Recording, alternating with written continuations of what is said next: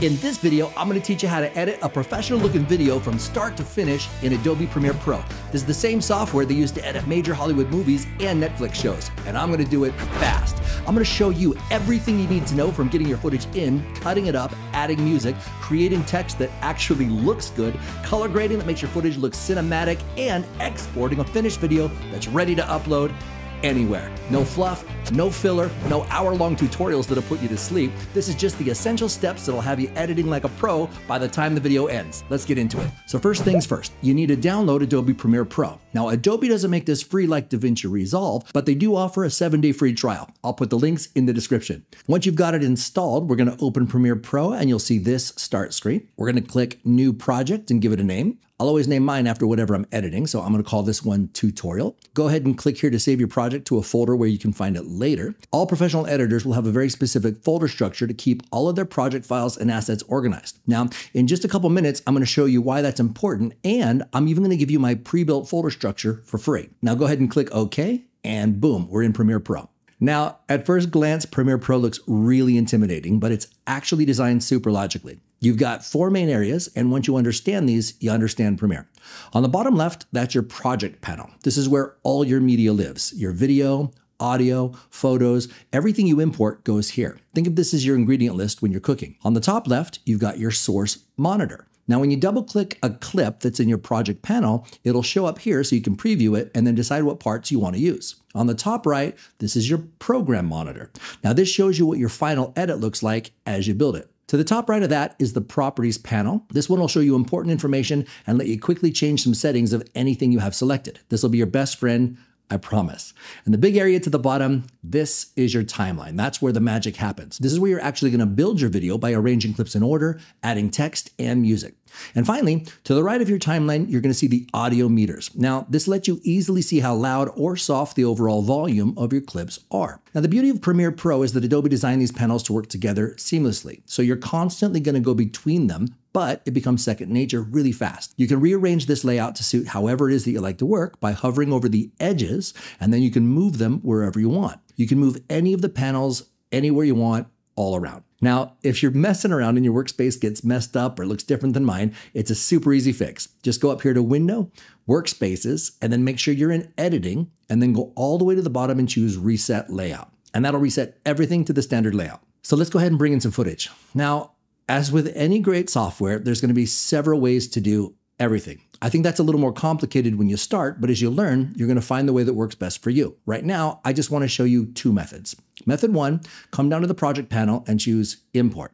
Navigate to your footage and then select everything you want to bring in, whatever photos, videos, music, whatever. You can select multiple files at once by holding Control or Command on a Mac while clicking. I'm going to actually go ahead and undo that by clicking Command Z or Control Z on a Windows.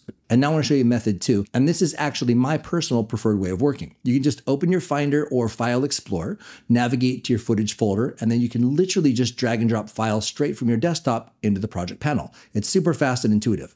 But here's pro tip number three, and this is the game changer that I mentioned. You should really create bins to organize your media before you start editing. So if you right click right here in the project panel and choose new bin, and then name it something like video clips, make another one for music, do another one for photos, and then you can drag your imported media into the appropriate bins to keep things organized. Now, I know this seems like a lot of extra work, but trust me, on any edit longer than five minutes, this organization will save you hours of searching through files later. Professional editors will always do this. Now, I'm going to quickly undo all of this again, and I'm going to show you how a real pro does it. Every good editor will have all of these folders already prepared and organized on your hard drive. Now, if you'll notice in my Finder, I have pre-made folders, and that's where I'm always going to put all of the assets for every single video. It's always the same from project to project. And if you guys want this exact folder structure that I use on every professional job, I have a free download link in the description. So you can download that and you can customize it to fit your workflow. Now, when I drag this folder from my Finder, you're going to notice that in Premiere, it keeps that whole structure so that everything is always organized. That's going to save you a ton of time. You can change the way your clips display by clicking between the list and thumbnail view down here. I find that list view is easier to organize clips clips and move things around, and thumbnail view is best when you're searching for footage. So once your footage is imported, go ahead and double click on any clip to preview it in the source monitor. That's the one up here on the top left. You can scrub through it, you can see what you've got, and then you can decide what part you want to use. So now the fun part. Let's actually do some editing. Let's go ahead and drag your first clip from the project panel straight down to the timeline. You'll notice that it automatically creates a brand new sequence with video and audio tracks, and it's going to snap to the beginning. Now, this is actually a bit confusing because it names this new sequence a file name that you just imported. So if you aren't paying attention, you're not even going to know where to find it. The first thing you want to do is rename the sequence to something that makes sense. In the project panel, you're going to know that this is a sequence because of the different icon right here. Now you can see it better from the list view. Just double click on the name and I'm going to call this one tutorial. And then what I always do is right click and create a new bin or click on the little folder icon down on the bottom right of the project panel to do the same thing. And I'm going to call this sequences. Now, as you get better at editing, you're probably going to make a bunch of sequences like version one and version two, maybe a sequence of all your best shots and things like that. This is a really good place to keep them so you can find them easy. Now, let's go ahead and go back to editing. To play your timeline, just go ahead and hit the space bar hit it again to stop. You can also click and drag this little blue playhead up here to scrub through your edit manually. Notice the window on the top right is going to show you all the footage in your timeline edit. You can also use the play button that's up here as well. And the same button will stop playback. If you want to zoom in and out of your timeline, you can use the little bar at the very bottom here by stretching either end of it. It's really intuitive and it's going to zoom to wherever your playhead is. You can also use the plus and minus keys on your keyboard to do the same thing. So let's go ahead and make some cuts. And again, as with most things in Premiere, you've got multiple ways to approach this. You can use the razor tool, which is right here in the toolbar. You can either click it or you can press C to select it. And then you can click exactly where you want to slice your clips up just like that. Don't forget to always go back to the selection tool after you're done slicing your clips or you'll accidentally keep slicing when you try to select things. But you can always hit Control Z or Command Z on a Mac to undo any mistakes you've made. You can also position your playhead right wherever you want to cut and press Control K or Command K on a Mac and it'll slice through your clips the same way. I prefer the keyboard shortcut method because it's faster once you get used to it, but you guys feel free to use whatever makes you feel more comfortable. Now, whenever you're cutting clips, notice how when I make a cut, it automatically cuts both the video and audio together. That's because automatically they're linked. Now, if you want to cut just the video or just the audio without cutting the other, you can hold down Alt or Option on a Mac while cutting and it'll do just one. That also works for selecting with the selection tool as well. If you want to turn off linking altogether, you can just click this little icon right here. But if you do that, you really got to be careful when moving any talking head video because it's going to lose sync with the audio. Premiere is really smart though, and it gives you a little message on both clips that tells you how far out of sync they are. For the most part, I'll always leave this on and I'll use the Alt on Windows or Option on a Mac if I need to control them separately. To delete a section that you don't want, just select it with the selection tool and then you can hit delete or the backspace key. Now notice that it leaves a gap in the timeline where it was. Remember that everything is selectable, so you can literally select that empty space and delete that as well. But here's a better way. I'm going to undo all that, and there's a shortcut that will do all of that for you in one move. After you cut out a section you don't want, you can select it, but this time press Shift and Delete. This is called a ripple delete, and it automatically deletes the clip, selects the space, and then it moves everything else up to fill the gap in one go. So to move clips around, just click on them and drag them anywhere you want. You can even put a clip above another one on a new video track. To extend or shorten a clip, you can hover right over the edge until you see this little red bracket, and then you can drag in and drag out. The clip will extend as long as you have unused footage available. One thing to notice that I'm sure that you already did is that everything above this bar is video and anything below the bar is audio. Now you can make these bigger by hovering over the video or audio track and then expanding it.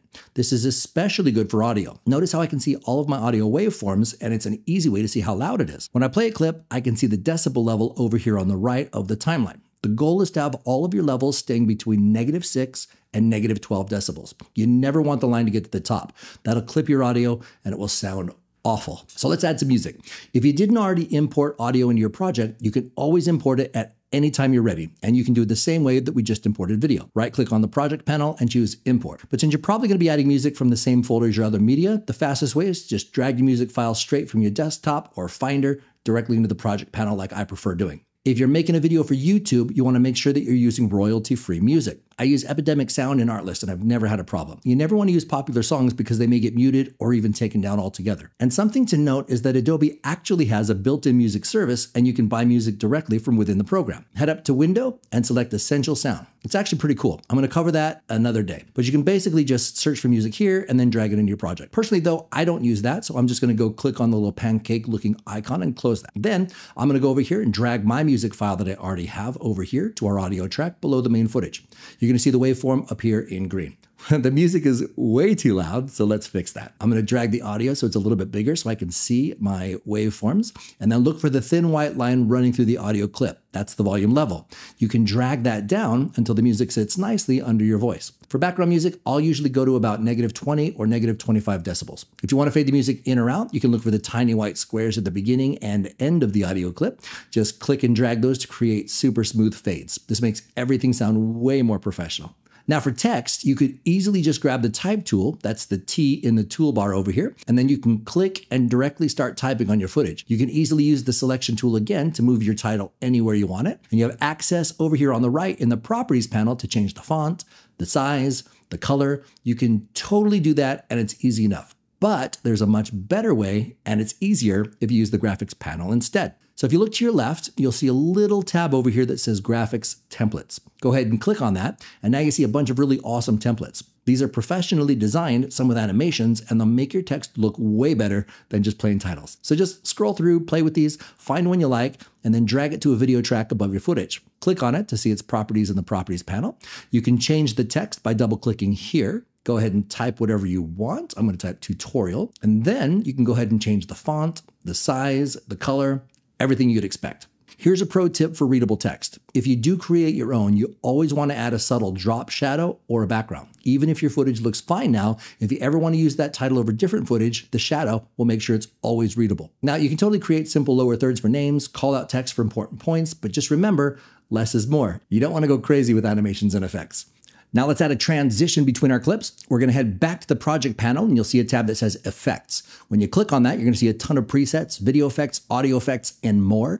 But we're going to click on video transitions. And now you can see there's a ton of transitions grouped by category. Make sure you go ahead and experiment with all these. For now, I'm going to go into dissolve and use a basic cross dissolve. It's super easy to add the transition by dragging it right between the two clips. And that's it. Now we have a nice dissolve from one clip to the next. So now it's time for the magic color grading. This is what separates amateur footage from professional looking content. So we're going to use the color workspace for this. Go up here to Window, Workspaces, and choose Color.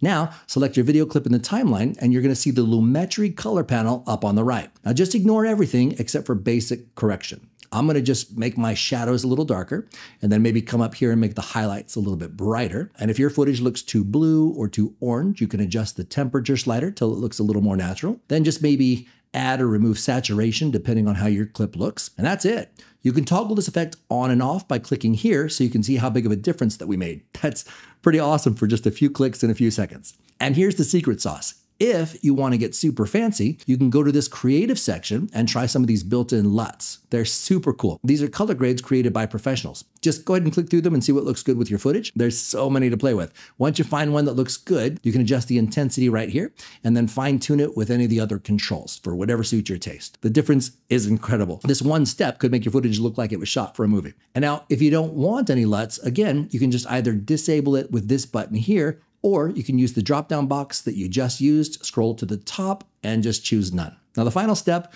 exporting your masterpiece. You can go up to File, Export, Media if you want to use the menus, or you can just click on the top left over here, Export. But the fastest way is just to press Control M or Command M on a Mac. That's the keyboard shortcut that every professional editor will use. So now in the export dialog box, you can change the name of your video if you want it different than your sequence was named go ahead and choose a folder to save it to, and then you can choose any preset that you want. This will save you a ton of time. If you don't see one that you want, or if it seems a little too confusing, let's scroll all the way to the bottom and actually choose more presets. At first, this might seem way more confusing because there's so many more presets, but for most of you, just go ahead and type in YouTube. Then choose if you want it to be HD or 4K. Now, I always shoot 4K and I always want to export in 4K, but most of you will probably just need HD 1080p. This will give you great quality with a reasonable file size. So once you select it, you can see that Premiere handles all of this technical stuff that we don't have to worry about. Just click OK, and then down at the bottom right, click on export. Depending on the length of the video and your computer speed, this will probably take a few minutes. And there you have it. You just learned professional video editing fast. You know the exact same workflow that editors use on major productions, just simplified for getting started. And the best part is everything that we just covered works whether you're editing YouTube videos, short films, client work, or anything else. These fundamentals scale up to any project. If this video helped you out, smash that subscribe button because I'm building the most practical filmmaking channel on YouTube. Now don't forget to download my free folder structure from the link in the description and make sure you drop a comment and let me know if this helps you out and what you want to learn next. I read every comment and your suggestions literally decide what I make next. So thanks for watching and I'll see you guys in the next one.